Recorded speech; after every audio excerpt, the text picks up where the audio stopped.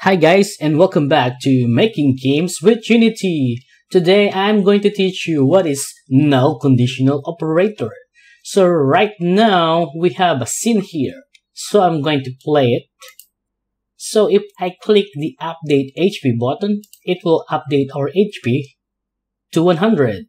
And then if I click the, the check name, it will show the name inside our array in index 0.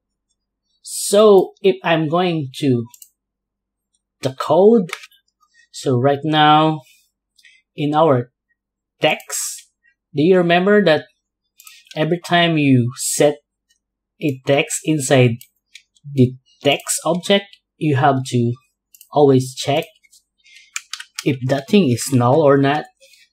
So using the null conditional operator, we can make this code shorter. So to do that, you just need to, of course, comment this out first. And then you can get your text here. And then see this part? I'm going to put question mark, then that. It means if our HP text is not null, it will update the HP. So right now, I'm going to save this and I'm going back to Unity. So clear our log first and then we're going to hit play. I'm going to click update. So see that one? This one update the HP to 100.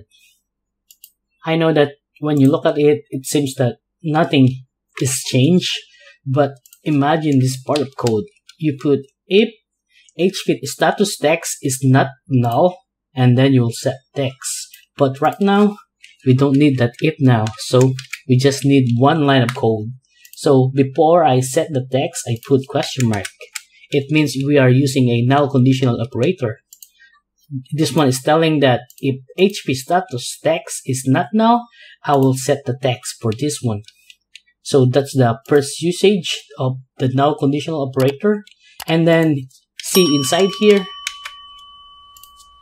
I also I forgot to put this, but this one, if you go inside, this one is calling a custom event.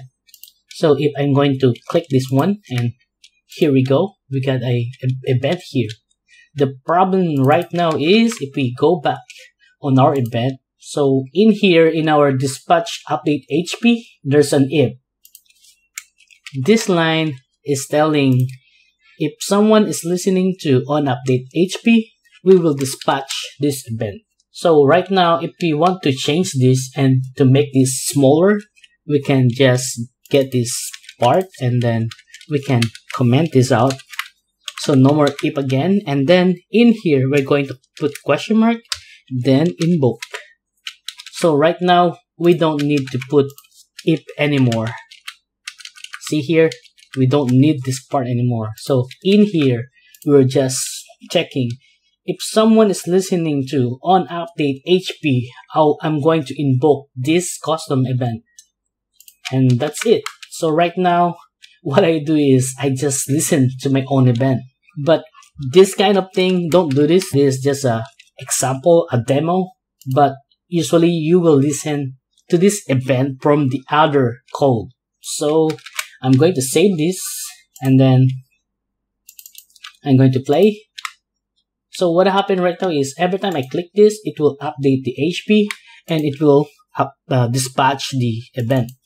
So here, this one is, is being called every time we update the HP because we call it here. See, update HP. Click update HP, you will call this one and then inside here, it will set the HP and then it will dispatch this event. Before we have this if but now we just make it like this. From two three line. It become one single line now. So I'm going to put it back so that you can see the magic. And then I'm going to comment this out. And yeah we got some warning because we are editing while the unity are still running. So I'm going to clear this one. So I'm I just put it back to the old code. So see this one it's calling sum but that not that, that is not the correct button this one update hp so yeah we click the update hp it update the HP to 100 and then it dispatch the event. So imagine we don't need this code anymore. We don't need to check if someone is listening. We just need to do it like this. So that's the second one where you can use the null conditional operator. There's a third example. So right now we get a array here. This array is an array of string. We get Sam, Joe, Thomas inside.